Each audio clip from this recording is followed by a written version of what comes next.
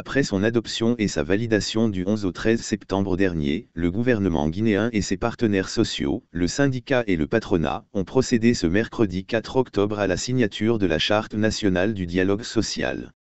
La cérémonie s'est déroulée sous la présidence du Premier ministre, le Dr Bernard Goumou. Lors de son discours de bienvenue, le président du Conseil national du dialogue social, le Dr Alia Kamara, a rappelé que cette charte représente un vecteur essentiel pour la promotion d'un dialogue social constructif et durable. Il a souligné qu'elle constitue également un instrument de pilotage des relations de travail, qui sont devenues souvent conflictuelles ces dernières années dans le pays.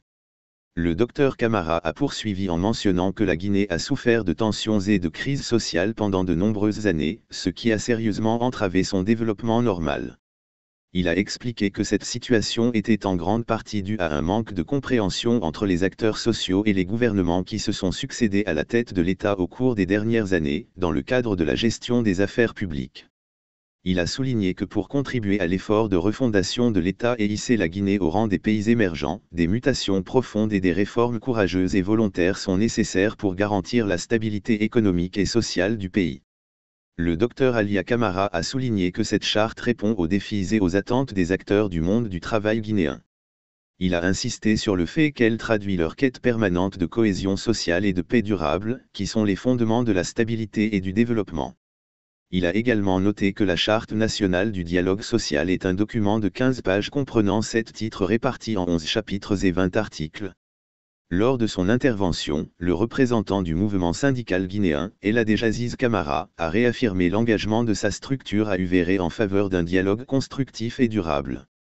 Il a souligné l'importance que les accords et les recommandations issues du dialogue social soient mis en œuvre de manière concertée et de bonne foi. De son côté, le vice-président du patronat unifié, Ismaël Keïta, a déclaré que la mise en place du CNDS, Conseil national du dialogue social, arrive à point nommé. Il a indiqué que leurs préoccupations concernant la prévention et la résolution des conflits en tant que facteur de résilience et de productivité est désormais résolue grâce au CNRD.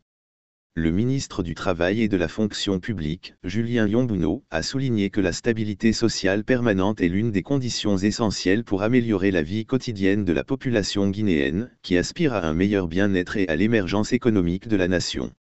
Il a également fait remarquer que depuis 2006, la Guinée a connu de nombreuses grèves successives et multisectorielles qui ont affecté plusieurs secteurs de l'administration publique, notamment l'éducation, la justice et la santé.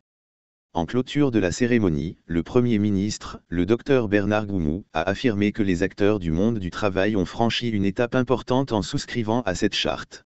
Il a encouragé tous les acteurs à être les gardiens de la paix sociale en Guinée.